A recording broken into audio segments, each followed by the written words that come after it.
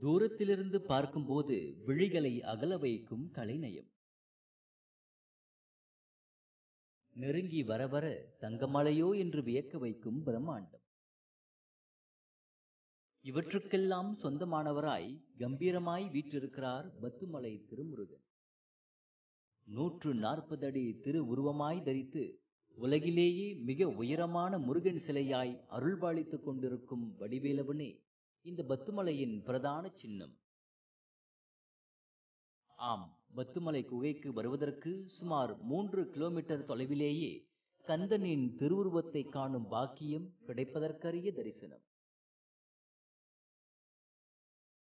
Gombak மாவட்டத்தில் அமைந்திருக்கும் இந்த புனித திருத்தலம் குவாலலம்பூரிலிருந்து பதிமூன்று கிலோமீட்டருக்கு அப்பால் வடக்கே நோக்கி அமைந்திருக்கிறது. முருகனின் ஏழாவது வீடு என்று அறிஞர்களால் போற்றப்படும் இந்த பத்துமலை தைப்பூச திருவிழாவின் போது உலகிலேயே பெரும் கூட்டம் கூடும் தெய்வ தலமாகவும் விளங்கி வருகிறது.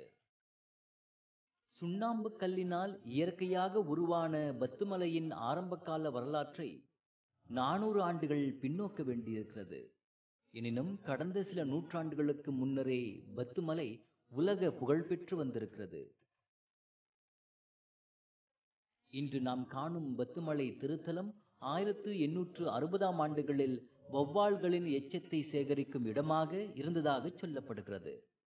ஆயிரத்து எண்ணூற்று எழுபத்தி எட்டாம் ஆண்டில் வெள்ளையர்கள் தற்செயலாக இக்குகையை கண்டுபிடித்ததாகவும் கூறப்படுகிறது.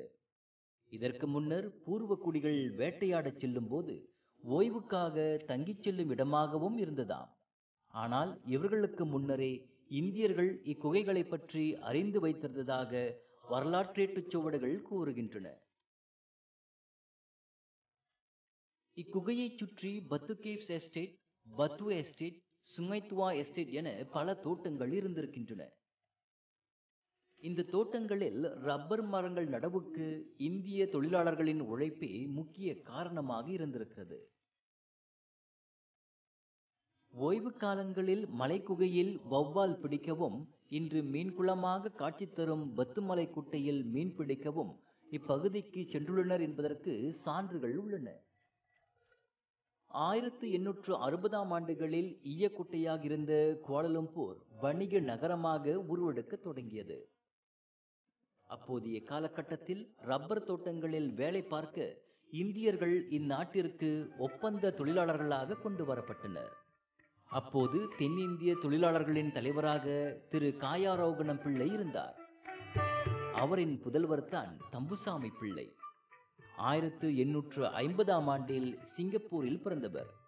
ஒரு சமயம் காயாரோகணம் கனவில் அம்பாள் தோன்றி தனது இளைய மகனுக்கு பத்துமலையின் குகையில் கோயில் காண்பாய் என்று கட்டளையிட்டதாகவும் கூறப்படுகிறது. காயாரோகணம் பிள்ளை தனது கனவை தன் மகன் தம்புசாமி பிள்ளையிடம் கூறியிருக்கிறார்.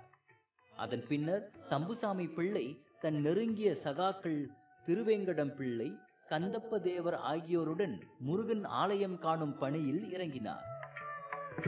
தொடக்க காலத்தில் மூங்கிலினால் செதுக்கப்பட்ட வேலை வைத்தே வழிபாடு நடந்ததாகவும் கூறப்படுகிறது. ஆயிரத்து எண்ணூற்று எண்பத்தி எட்டாம் ஆண்டு முதன் முதலாக பத்துமலையில் வேல் வைத்து வணங்கினார் தம்புசாமி. ஆயிரத்து எண்ணூற்று தொன்னூற்று ஓராம் ஆண்டு தொடக்கம் தைப்பூசத்தை கட்டாயமாக கொண்டாடுவது என முடிவு செய்யப்பட்டது. இதற்கு பத்துமலை மக்கள் பூரண ஒத்துழைப்பு நல்கினர். ஆயிரத்தி தொள்ளாயிரத்து இருபதாம் ஆண்டுகளில் மலைக்கு சென்று மால்முருகனை வணங்குவதற்காக மரப்படிகள் கட்டப்பட்டன.